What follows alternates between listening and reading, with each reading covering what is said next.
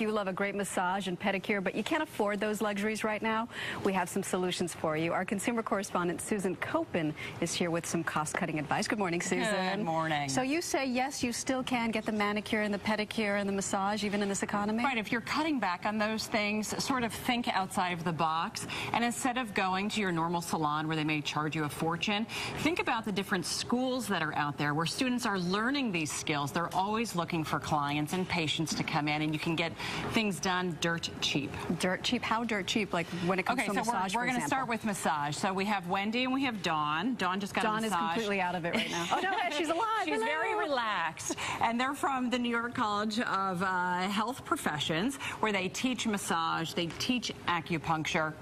A massage by a student is $35, and that's for 50 minutes. Where normally in a salon or you know a, another spa, it would cost about $150. So you're saving a bundle. Acupuncture, $30, and then there's also the senior citizen discount, which is $20, right? $20. Are, are they supervised? Because some people might not like the idea of a student. You are supervised, so you're not just thrown into a room with a student and hey, let the student do whatever they want. You are supervised. There is a plan, and the students, you know, are learning their skills and practicing on you. So how is it? It's great. Great. All right. Thumbs up. Thank you.